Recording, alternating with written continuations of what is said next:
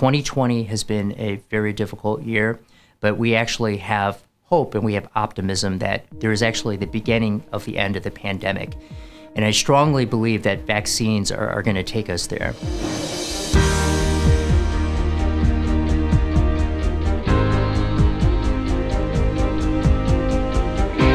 There's a lot of excitement, but there's also a lot of concerns that you have.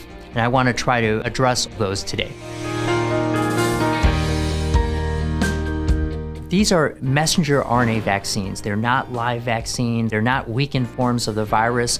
These are actually vaccines that help our body make a protein called the spike protein, which actually is a harmless part of the coronavirus. It's actually what the coronavirus uses to attach to our cells, and this enables our body to make antibodies should we be exposed to the coronavirus and provide us protection mRNA is messenger RNA. We are composed of mRNA. mRNA technology has been used for decades, and now we're really at a very special time in regards to science and, the pandemic. We actually have two uh, effective mRNA vaccines that are available, and we believe that this is really going to be a safe and effective way to deliver uh, vaccines. The vaccines are 95% effective in, in prevention of symptomatic COVID infection. So we've actually been extremely enthusiastic and optimistic about results of these studies and trials. 20,000 patients in both trials received the vaccine. There's actually a lot of reasons for why we've been able to get to the point uh, we're at right now.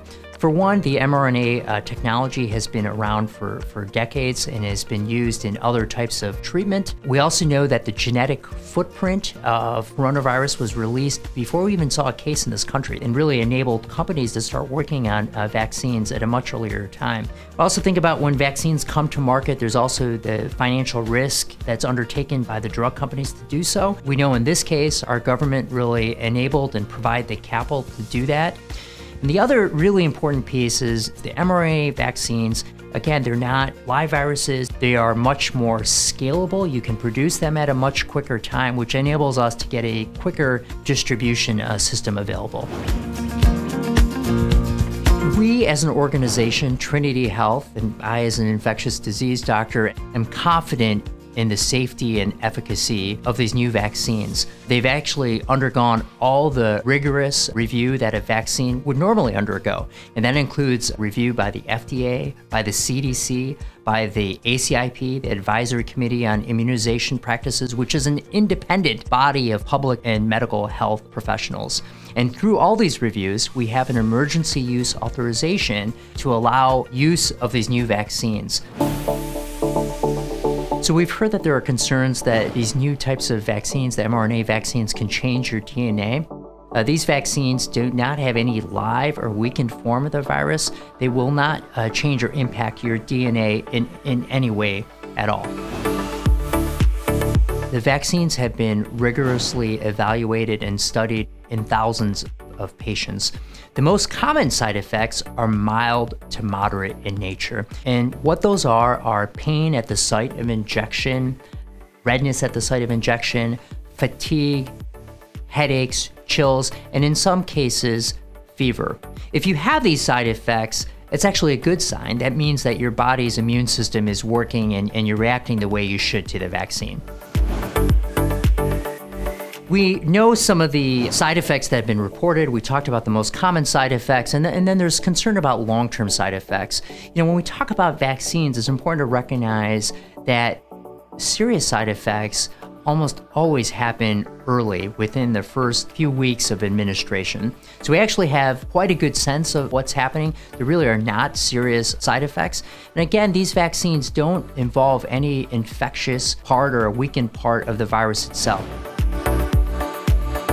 Currently, there are two vaccines, the Pfizer vaccine and the Moderna vaccine. Remarkably, the vaccines are actually very similar. They both are mRNA vaccines. They both have special types of cold uh, chain requirements. And when you actually look at the data, the data is actually very similar. They are both 95% uh, effective in prevention of, of symptomatic COVID infection.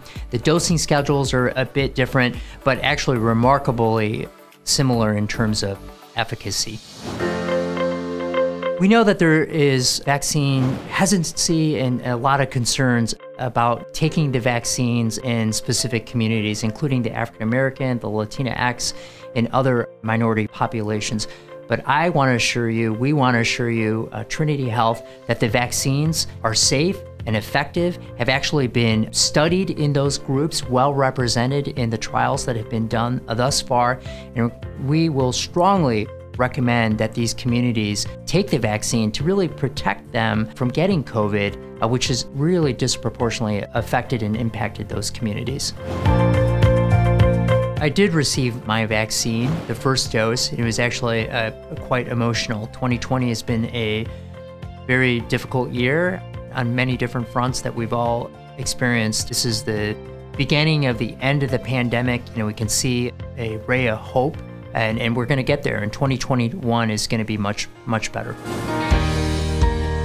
I'm extremely proud and enthusiastic and optimistic about where we're going. 2020 has been, um, you know, we, we haven't had a pandemic like this in over 100 years. I mean, none of us none of us were around, and this has been a, a very difficult year on many fronts.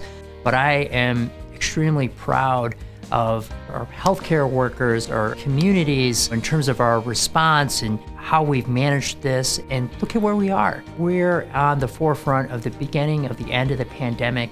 This is really an exciting, uh, exciting time.